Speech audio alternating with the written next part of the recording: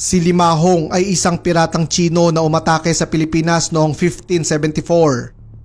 Sinalakay ni Limahong at ng 700 niyang mga pirata ang Maynila noong November 30, 1574. Dalawang beses na sumalakay si Limahong sa kahoy na pader ng Maynila kung saan dalawang beses din siyang natalo ng pinagsamang pwersang Filipino at Espanyol at nalagasan ng maraming sundalo. Dahil sa pagkatalong ito, Tumakas si Limahong patungo ng Pangasinan kung saan hinabol siya ng mga barkong Espanyol hanggang sa bunganga ng Agno River. Siya ay tumakas makalipas ang limang buwang pagtatago sa Pangasinan at hindi na muli pang nakita pa. Dahil sa pagsalakay ni Limahong, napagtanto ng mga Espanyol kung gaano kahina ang kanilang depensa kaya't pinasimulan nila ang pagtatayo ng pader sa paligid ng Maynila na kinalaunan ay tatawaging Intramuros.